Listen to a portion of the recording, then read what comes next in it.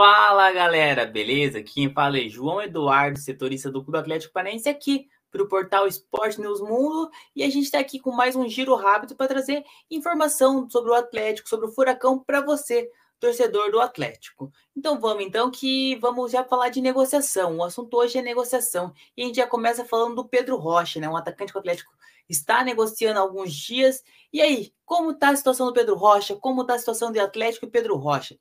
Então a gente quer tentar dar um giro para contextualizar o que está acontecendo, né? O Atlético segue negociando com o atacante, mas sem muita velocidade, até porque o Furacão é, ele busca um estilo de negócio um pouquinho mais econômico para ele.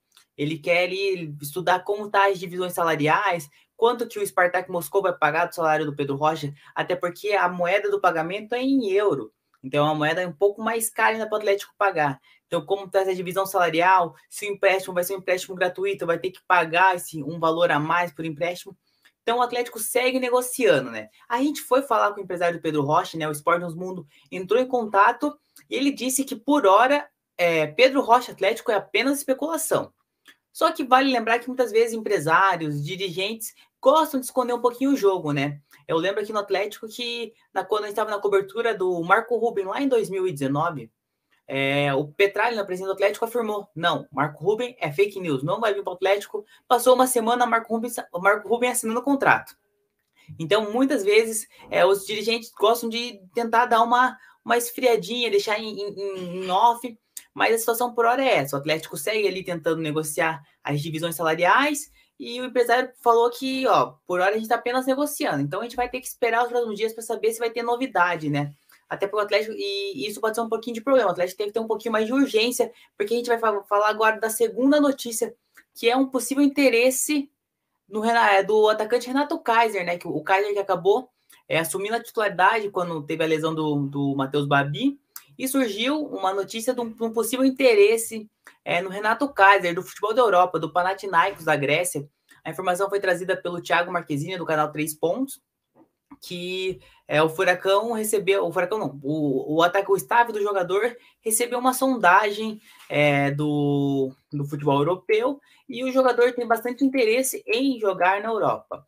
Isso é o que temos de informação por hora. Chegou a proposta? Ainda não, é apenas uma especulação, uma quando o clube entra em contato para saber aí, tal, vai acontecer, o que, que seria, você está disposto a vir ou não?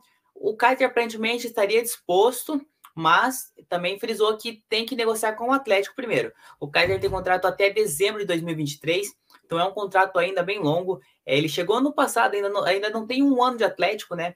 O Atlético comprou ele após destacar no Atlético Goianiense ali, foram cerca de 5 milhões na época por ter é, segundo informações da época, era 90% do passe.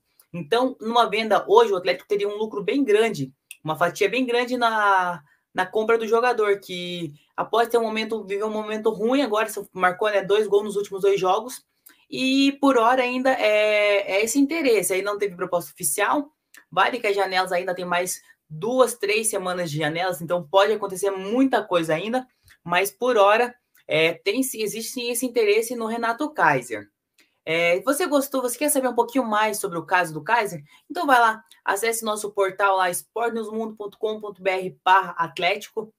Saiu uma notícia lá é, falando da situação do Renato Kaiser, falando dessa sondagem. Tem matérias também sobre o caso do Pedro Rocha e tem tudo sobre o dia a dia do Clube Atlético Paranaense. Lá você não, lá você não fica, você fica informado sobre tudo que acontece no dia a dia do Furacão. É, para finalizar, né, gostaria de pedir para você se inscrever no nosso canal. Se você gostou do vídeo, curta e compartilha com seus amigos é, para mostrar o que está acontecendo de novo no Atlético Paranaense. E até uma próxima. Tchau, tchau.